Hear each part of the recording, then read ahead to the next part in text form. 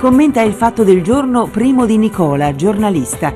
Engels, coautore con Carlo Marx del manifesto del Partito Comunista, uno dei libri più letti, di questo ho scelto di parlare oggi.